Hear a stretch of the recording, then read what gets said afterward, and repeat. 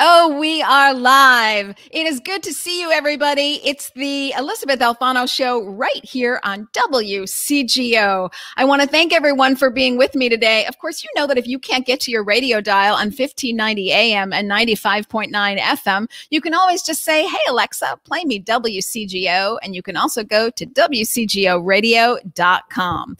Okay, I want to take everybody through the news because that's what I love to do. Uh, if you have been following in the New York Times, there was a great article last week uh, by Jonathan Safran Foer, and he wrote a wonderful piece, The End of Meat, and he talks about a lot of things in it, but I want to take on one subject in particular. If we let the factory farm system collapse, won't farmers suffer? No, the corporations that speak in their name while exploiting them will. There are fewer American farmers today than there were during the Civil War, despite America's population being nearly 11 times greater. This is not an accident, but a business model. The ultimate dream of the American agricultural industrial complex is for farms to be fully automated. Transitioning towards plant based foods and sustainable farming practices create more jobs than it would end.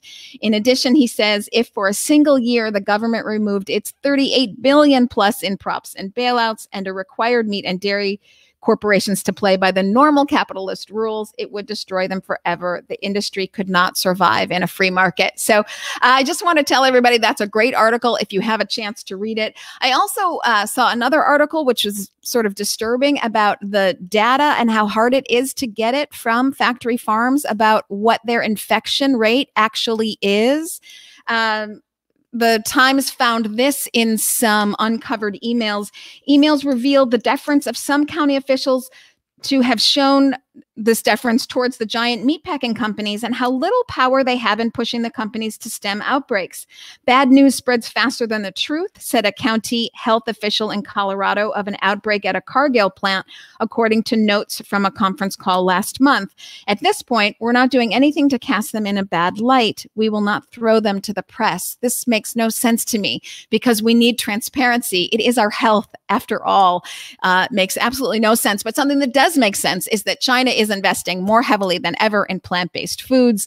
Nestle just put in over a million dollars for a fully uh, plant based only kind of plant. And that to me makes a lot of sense. Uh, something else that makes a lot of sense and a lot of joy for me is uh, to have Matthew Kenney with me here in studio. You can sort of see my studio today as a kitchen. Matthew Kenney, chef extraordinaire, thanks for being with me today. It's a pleasure. Thanks for having me. Uh, so I want to give you a little bit of background on who you are and just how great you are. I will say that personally, you changed my life when I stumbled into plant food wine in Los Angeles on Abbot Kinney Avenue in Venice. I didn't even know that these things were possible. For people who may not know of you, I will say that you have about 40 plus restaurants around the world all plant based. You are an award winning James Beard chef, two times over, I believe, Rising Star.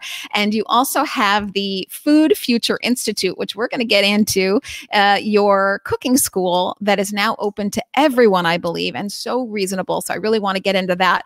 Um, but first, let me just ask you how long have you been at this? Well, I became a chef in 1989, so I, I have to do the math on that. But I, that's when I went to a French Culinary Institute, and um, after 12 or 13 years, I went fully plant based. So plant based about 18, 19 years. And how long has I'll say the the Matthew kenney cuisine empire because it really is an empire. When you go on the website and you see like oh my gosh they're in Bogota they're in Bahrain they're in uh, uh, Argentina Buenos Aires. I mean and of course they're in Philadelphia too and they're in Chicago and Los Angeles and New York.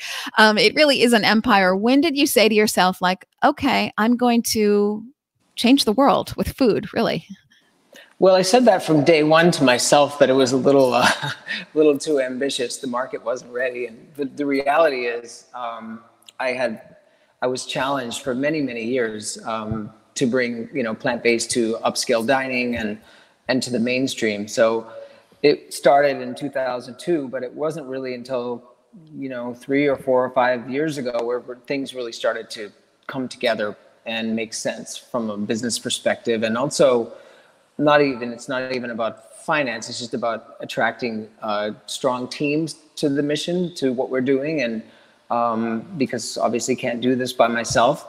Um, so things started to click a few years ago. But I mean, I I had the vision from day one. I really felt like plant-based cuisine, if done properly, could change the way we think about food. Yes, and and it does. I mean, um, when I think of again, I think it's over forty restaurants that you have. I the only plant-based chain business model I'll say that I know of is Veggie Grill, obviously a very completely different market that you're going after. I really don't know of much, and I'm surprised at this point. I don't know of much fine dining going on in the plant based world. I'm wondering if you could tell me why that is. It's it's all timing. Uh, you know, there are so many factors that have allowed plant-based to become more prevalent in the last few years. Um, you know, the media and all the education that the media has done through documentaries and, and films um, studies, you know, by doctors and committed medical professionals who are are now, you know, embracing plant-based diet, which wasn't the case necessarily so long ago, not so long ago. Um, can't ignore the, the, the financial markets, like for mm-hmm. example, Beyond Meat. You know, all of these things have to come together: marketing, finance, operations, the know-how, and it it wasn't going to happen overnight, and it's still evolving. Um, but these days, you know, it's become fashionable to uh, dine plant-based. Doesn't mean it always has to be fine dining. It could be fast food. It could be picking up a snack at a store. But it, it, it just the market had to come around, and the larger uh, groups, especially hotels and so forth, had to embrace it before it could really become as acceptable as it has. Uh, and we'll talk about that a little bit. As you say, you can't do this on your own. It seems that you've partnered with a lot of hotels around the world. And I was wondering why that business model for you rather than having your own individual restaurants. Well, in the United States, most of our restaurants are company owned um, and operated. But internationally, and we have about 16 or 20, uh, I don't know the exact numbers, uh, international projects. And you know, we don't understand those markets. We don't always even speak the language or understand the, the, the, systems and the rules and regulations. So it's much more effective for us to do what we do best, which is create the food, develop the concept, help with the marketing, and work with really strong teams in regional markets um, that have the know-how and the real estate.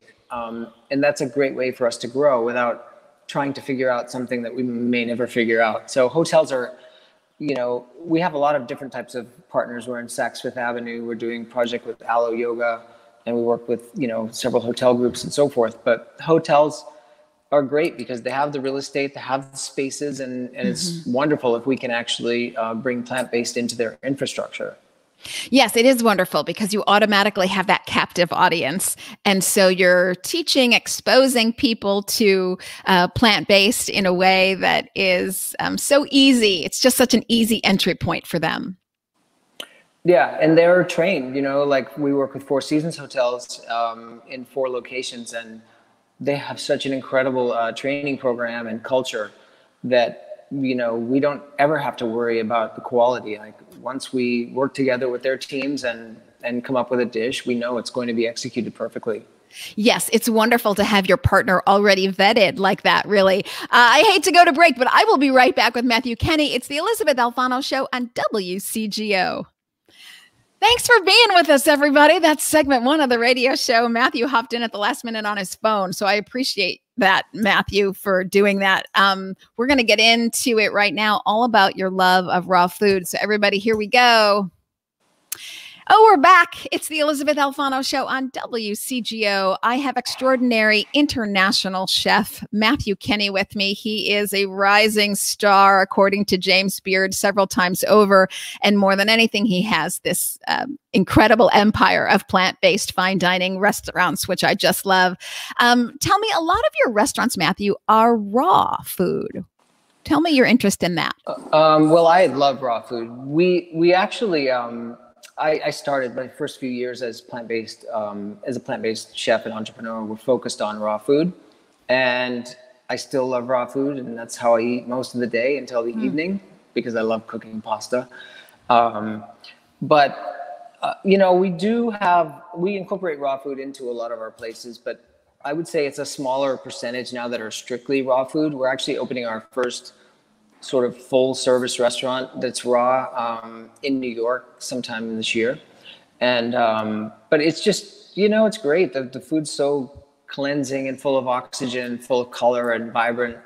Um, makes you feel incredible. So I love it. I love the challenge, and um, it's indescribable. At the same time, I love pizza, so it's I'm not discriminating.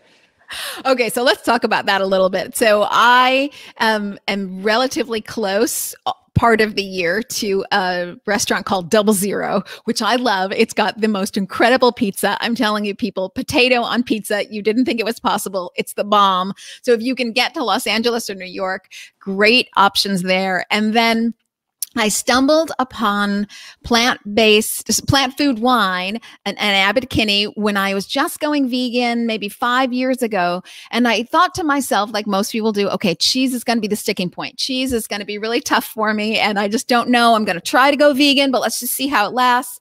And then on a rainy day, I stumbled in this gorgeous white restaurant. We couldn't eat outside, which is even more beautiful, but we ate in the all white restaurant. It was just the two of us and we ordered the entire menu pretty much. I'm not kidding because we wanted to try. We didn't know that these things were even possible. And your cheese plate made me say, That's it. It's possible. I don't ever have to go back. It was life affirming.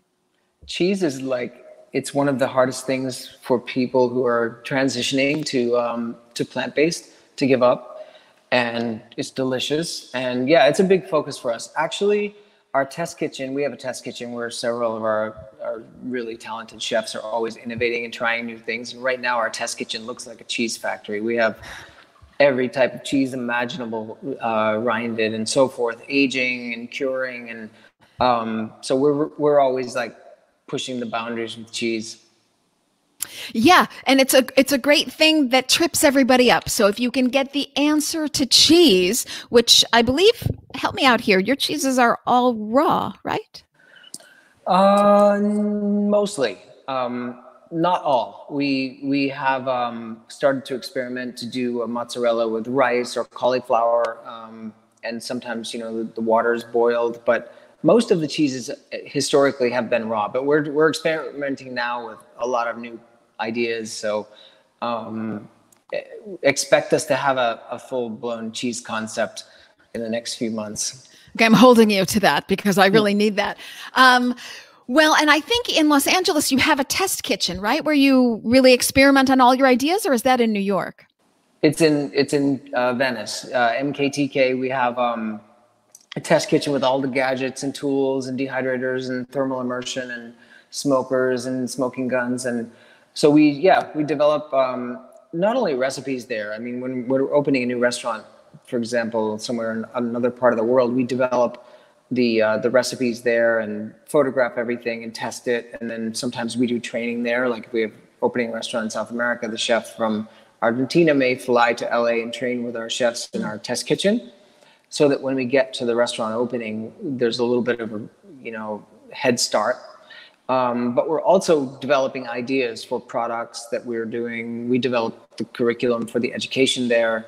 Um, now we're developing um, uh, uh, all the content for this nationwide um, meal plan service we're creating. So yeah, it's a it's a it's a great place. You walk in and you're surrounded by ideas and food and innovation and very very talented team uh, working there. Well, let's talk a little bit about one of your innovations at the moment, which is the Food Future Institute. If the technology gods are with me, I'm going to be able to play a short video for everybody. Let's see if I can do it. Um, and I'm not sure. So I, uh, let me uh, hold on. Yes, I can. Watch this, everybody. You think I couldn't do it, but now I can. Hmm. Here we go.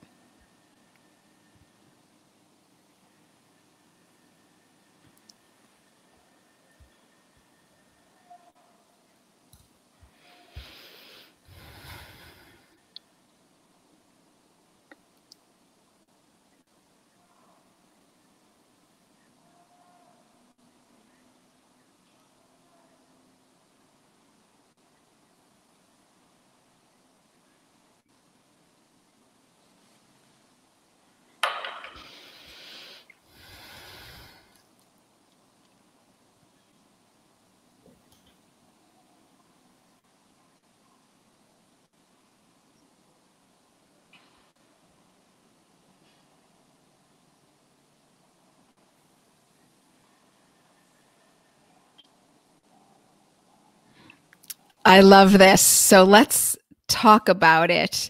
Um, is it online now? And who can apply to be part of the Food Future Institute? Uh, yeah, we launched on May 8th, so a little over two weeks ago. Um, it's a uh, 18 module um, course with about 120 lessons, and we expect that the average time to uh, complete the course will be between minimum probably three to four months, but the average will probably be closer to nine uh, nine or ten months, maybe a year, and it takes uh, it takes our our students through the entire um, culinary journey of understanding basic techniques, classic techniques. Of course, we've reformulated the, the techniques and the tools and equipment that are used to fit a plant-based diet, and it's all basically um, brought together through uh, over a hundred original recipes we created um, for this course. The recipes, of course, they're innovative and they're important, but the, the purpose is to make sure that we're weaving in all of these techniques and methods so that everybody can have a deep understanding of, of what's really involved to create plant-based food at a high level. And um, yeah, we went on. We went live a couple weeks ago, and we have uh, I think close to 600 students from I don't know 40, 50 countries um, active on the site right now.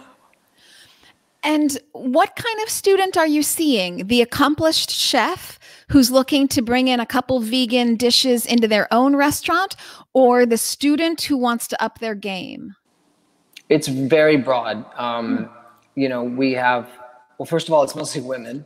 Um, women seem to be ahead of men when it comes to, you know, hmm. understanding the value of this. So it's it's a it's a largely uh, female population at the moment, and um, you know the demographics are really interesting. We have a the two largest groups, uh, oddly enough, are you know mid twenties and then above my age, which I'm 50, almost 56. So quite looking fly, my, my, friend. quite a few people in my um, age group or above as well. And it's very broad. You know, there are chefs. There are quite a few chefs who are chefs in restaurants taking the course. Eh, but there are also many people who are cooking at home and uh, cooking for their families, or might be a yoga teacher that want to bring plant-based food into their private practices.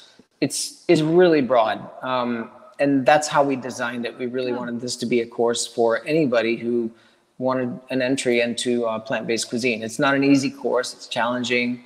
It's extensive. It's very, very. Um, it's probably very intense, but we designed it in a way that anybody could take it um, as long as they're, you know, comfortable handling a sharp knife.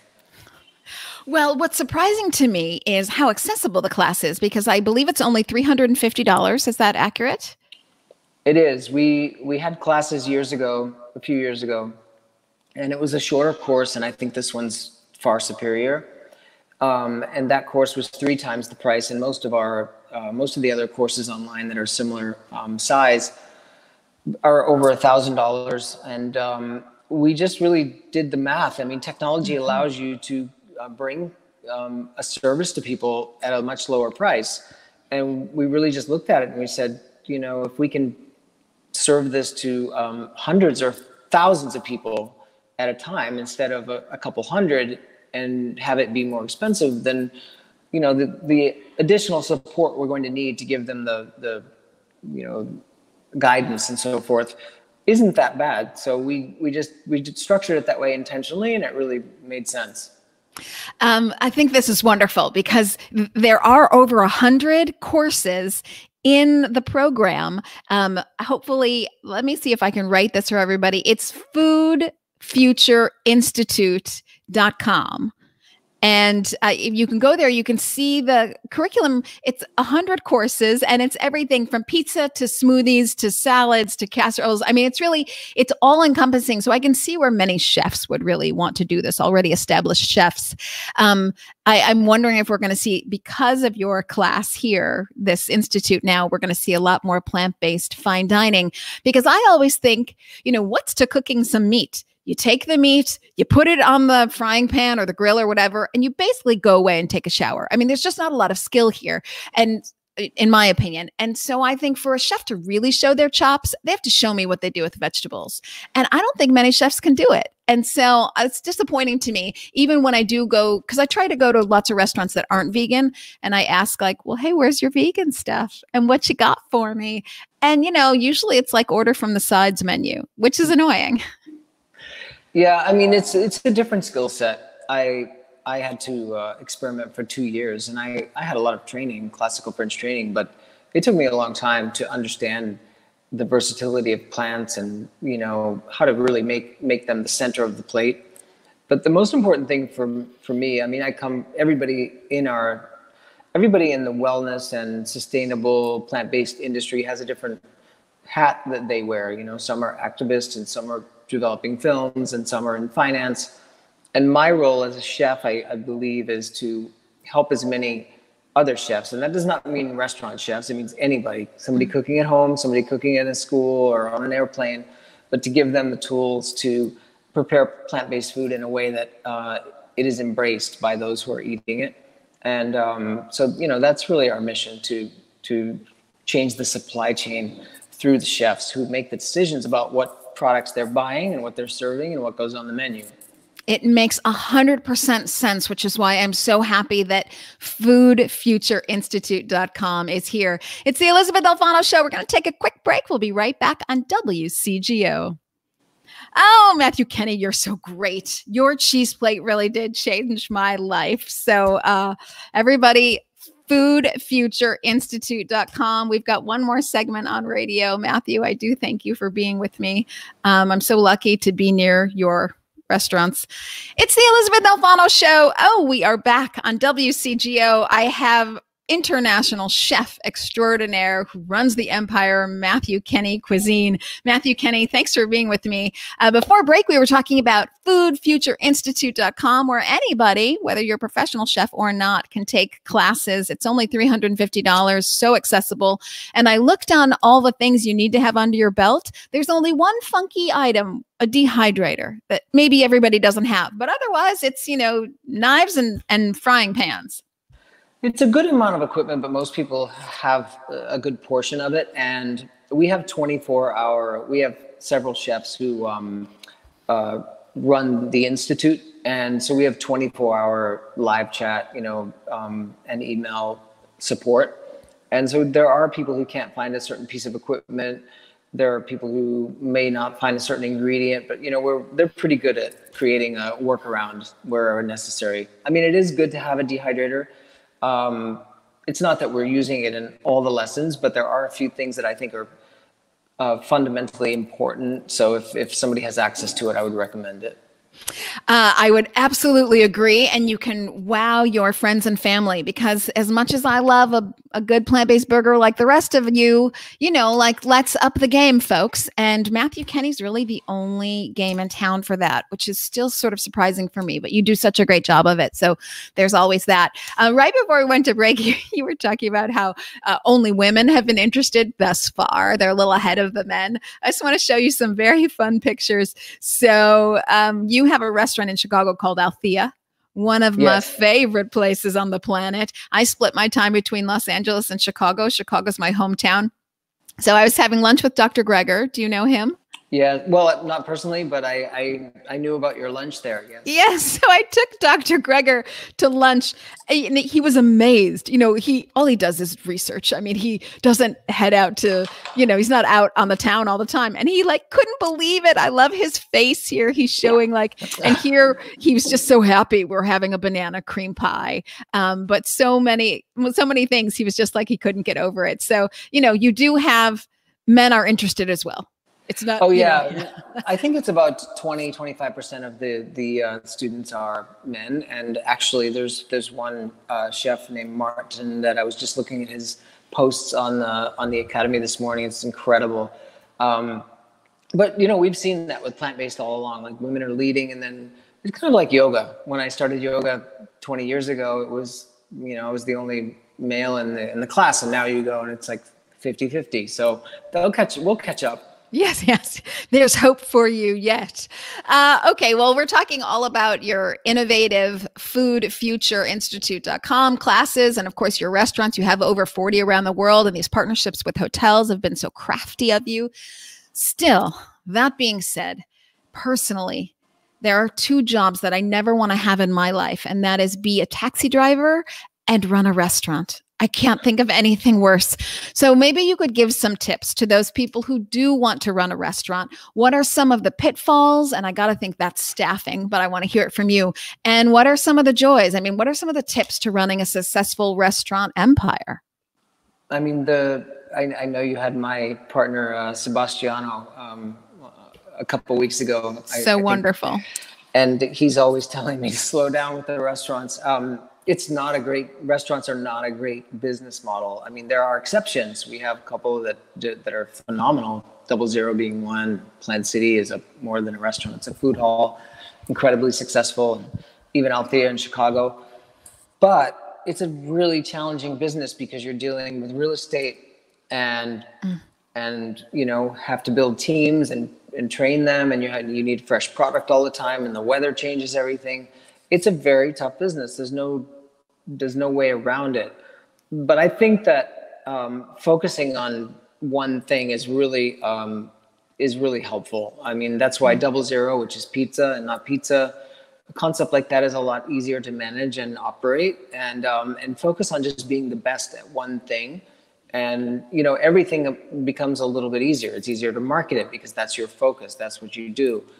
Of course, that's not. I don't take my own advice, um, but you know, for us, I mean, the restaurants are really important. That's where we bring community together. That's where we meet our guests, our our teams.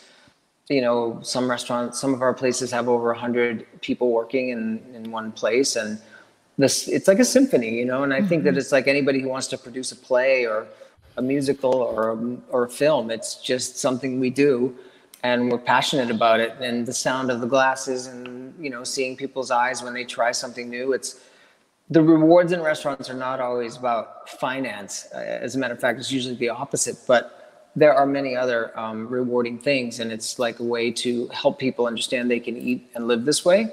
And for us as a company, it allows us to experiment and find out what what resonates with our guests. You know, what kind of recipes do people love, and then we can hopefully take those recipes and put them into a more sustainable business model, such as media or education or, or consumer packaged goods. So, but on their own, they're tough. No question about it.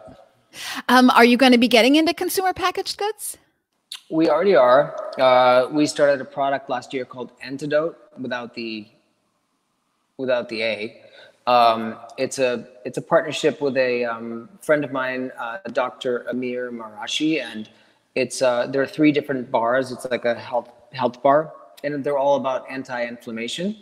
Great. Um, and we we launched that last year, and um, and then we started a, a, line called Plant Made Foods, which is a frozen food line with uh, about 30 different products, and um, we started shipping in January to about 100 stores so far, and um, so that's that's you know everything from like a um, cacio pepe to um, like an artichoke or heart of palm crab cake, and it's a really cool line.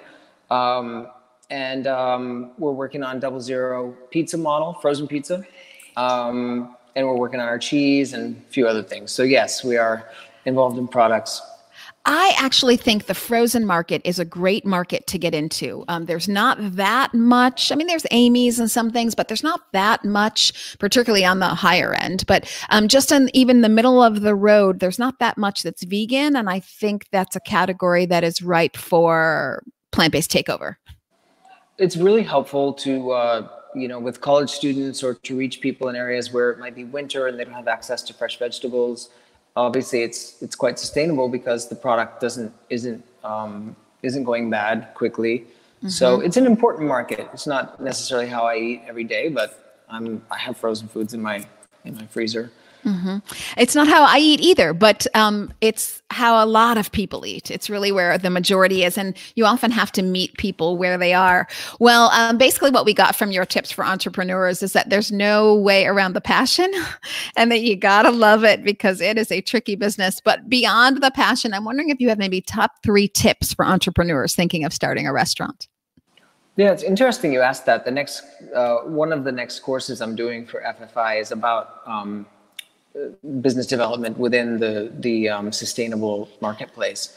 So, you know, um, I worked with a really intelligent um, partner many years ago, and he used to give me all these little nuggets of wisdom. And and the first thing, which it's not that it's exciting, but it's important to realize, he said, you know, he said, Matt, every business is the same.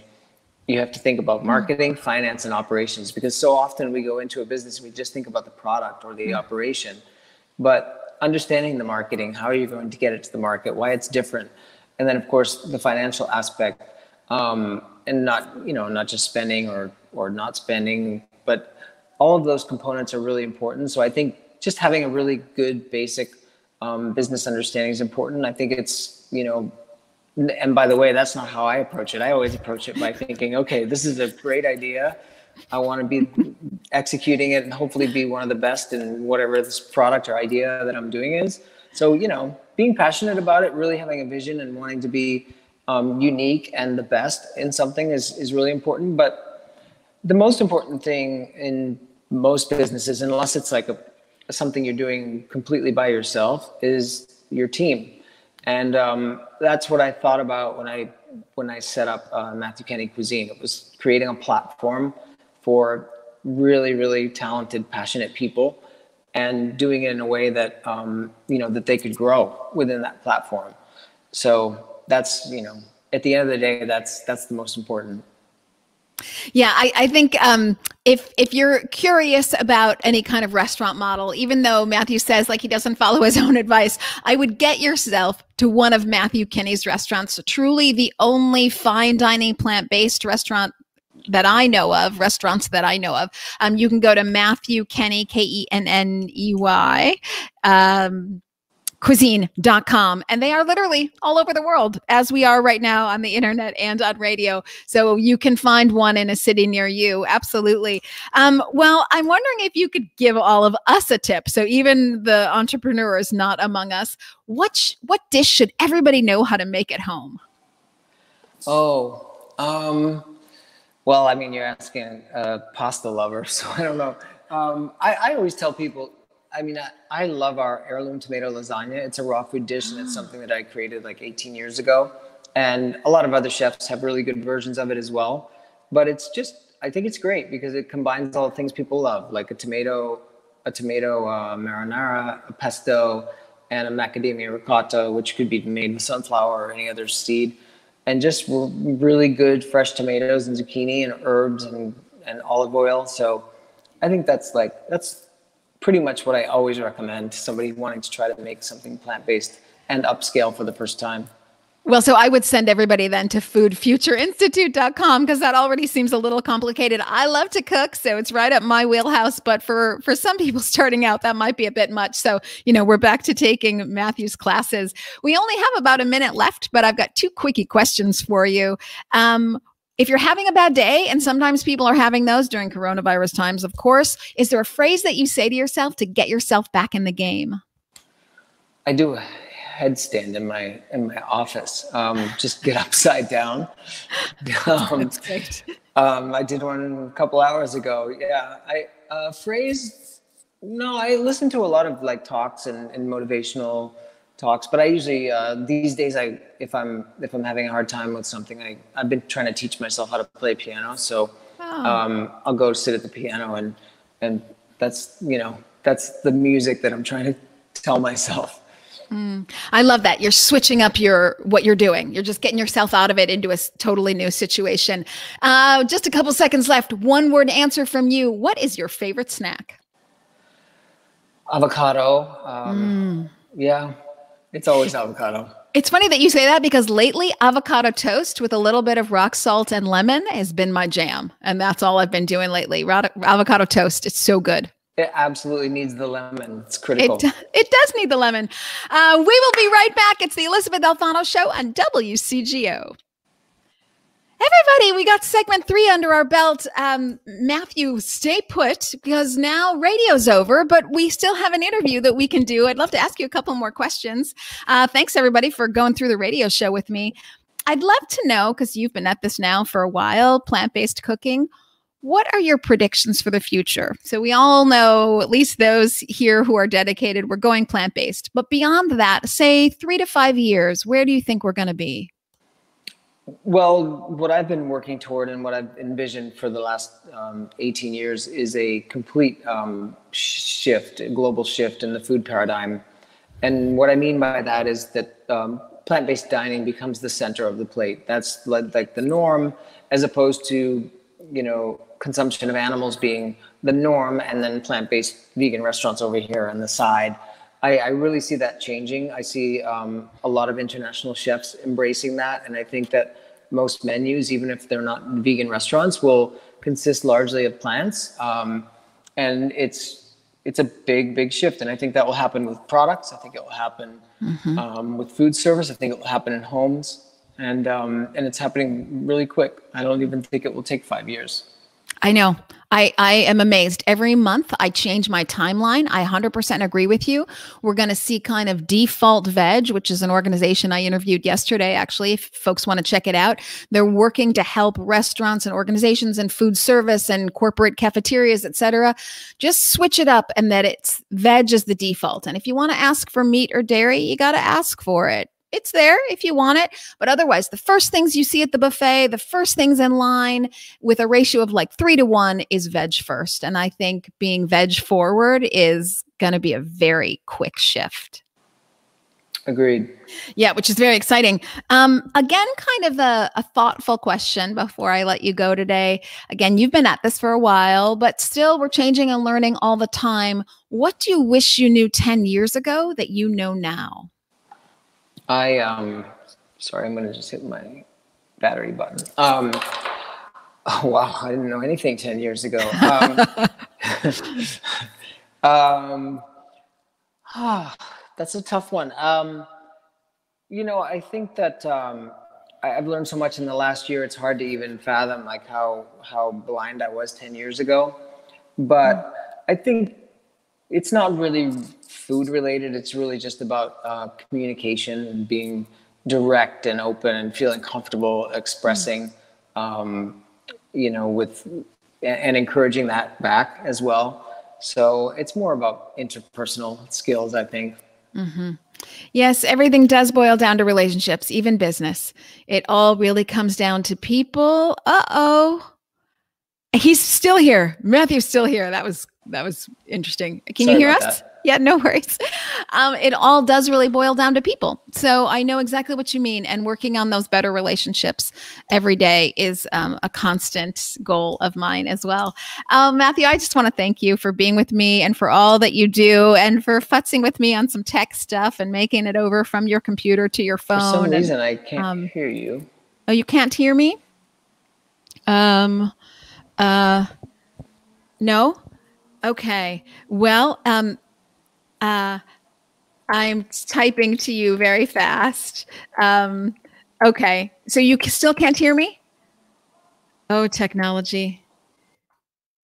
Uh, Everybody, I'm still live, but we have lost Matthew Kenney.